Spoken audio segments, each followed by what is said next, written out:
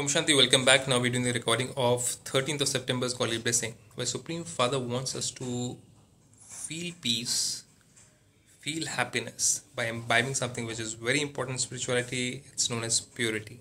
Now, purity is not just brahmacharya, we're talking about something else over here, which we're going to explore in a bit over here. So let's see what is the title of the blessing. Godfather says, May you become perfect and complete.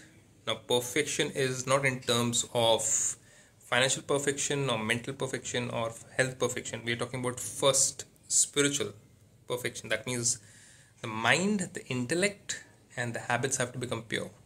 So God says, May you become perfect and complete and experience super sensuous joy by making the foundation of your purity strong. So, the foundation of Brahmin life, which is even your life, you don't have to become a Brahmin to become that you are already a Brahmin. Brahmin means Brahma's child, a mouth born child, not a physical child. So Brahma over here is Adam, and Jagadamba or Jagadamba over here is Eve. So you are a child of Adam and Eve.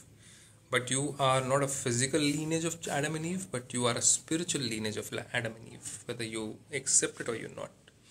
So the foundation of Brahmin life is purity for us to be in connection with the higher power, with the supreme power, the supreme creator who is ever pure, we need to reach a level of purity to imbibe all those qualities which he has or she has or in order to in order to feel connected to the higher being to the higher incorporeal being to the higher quantum field to the higher invisible force to the higher energy or the, to the higher light or you can call him as metaphysical field or energy.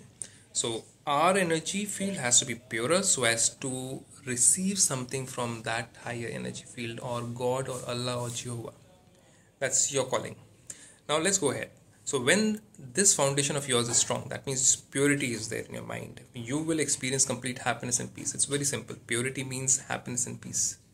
It's equivalent. You can put a equal marks of mathematics in that. Purity equals happiness plus peace.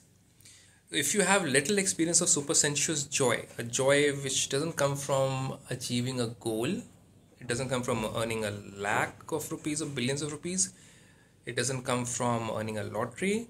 I'm talking about, and God is talking about super sensuous joy, which is constantly available to your mind and intellect without the experience of your five senses. That means you don't have to experience anything from your five senses to experience that joy. It is beyond the material world. It is metaphysical joy. And sweeter silence. Then your foundation of purity is definitely weak. That means the first conditions apply is not matching. That's why you don't have sweet silence. That means peace in your mind. You don't have supersensuous joy. That means you don't have complete happiness in your life. So what do we change then?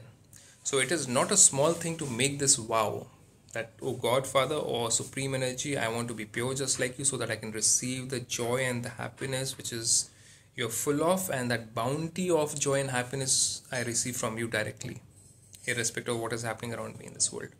So God then says, bab Dada. Bap means the supreme creator or the energy, and Dada means Adam. Gives congratulations with blessings from his heart, not from his mind, huh? from his heart, to souls who fulfill the vow of purity. Now, in order to receive the blessing of becoming complete and perfect from this vow, okay supreme creator supreme energy i'm going to be pure. I'm going to think pure. I'm going to feel pure. I'm going to act pure.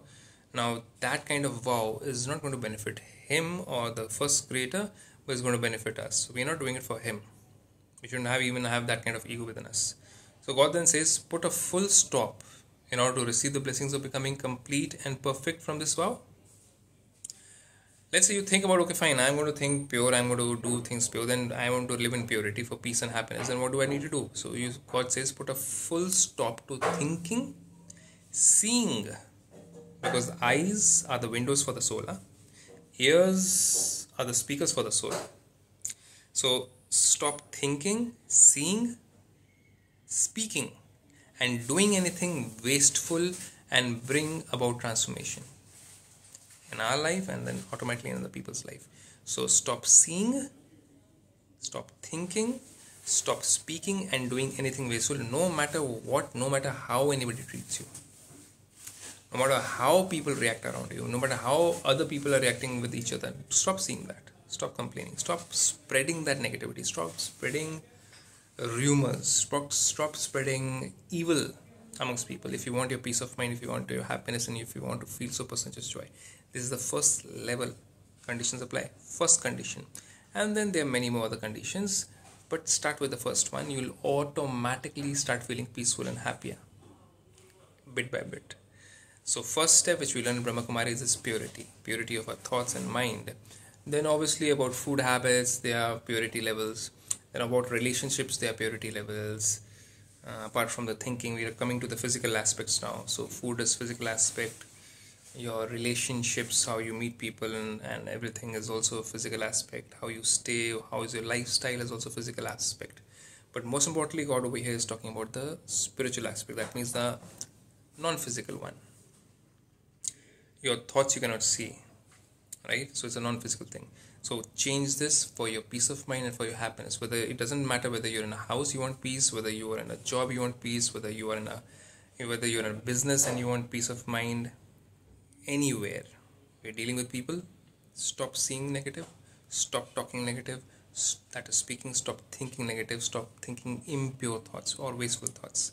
Why when what how who? That's what comes right? Who did it? Acha, this happened like this he said something like that to her. Oh my god so bad. This guy is seriously stop doing that.